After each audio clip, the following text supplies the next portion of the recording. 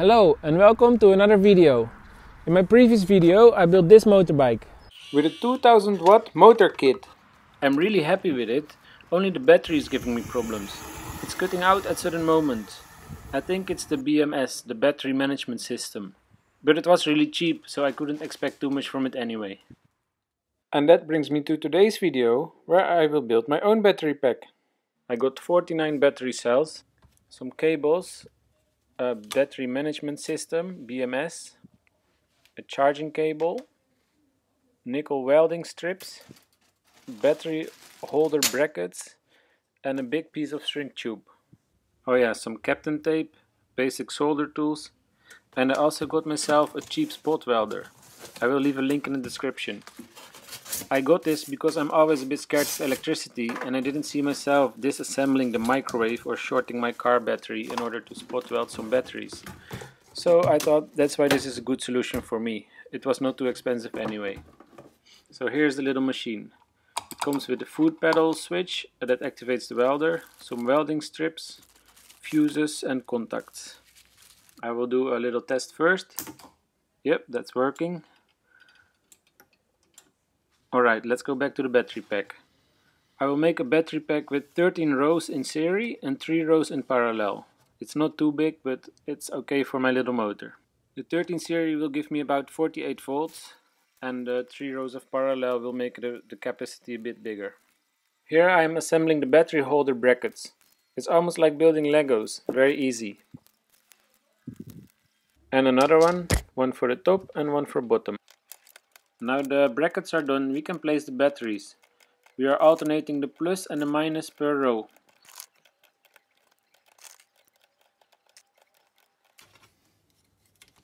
Alright, that's done.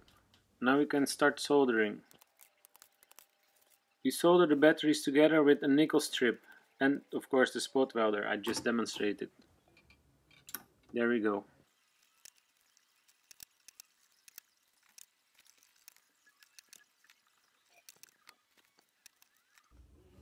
Alright, that's done. All the welds are complete. Now I made myself a drawing um, to see how the wires are going to the BMS, the battery management system, so that that cannot go wrong. It's actually very easy if you look at it. So every row gets one wire, so every row can be controlled by the battery management system separately.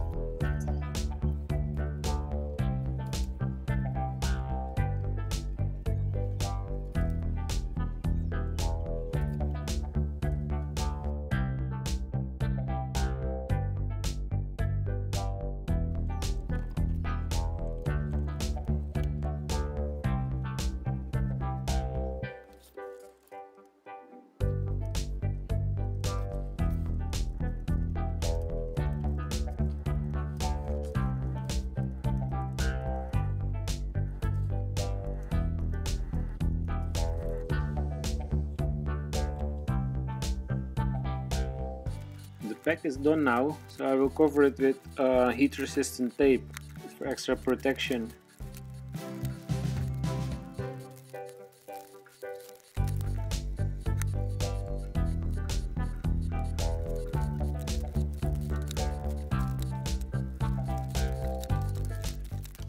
There are a lot of wires, but I try to make it as neat as possible.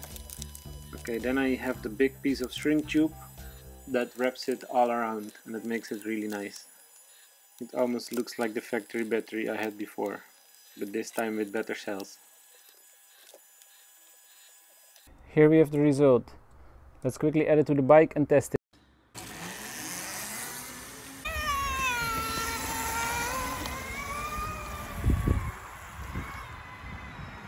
Thank you all for watching. I hope you enjoyed the video.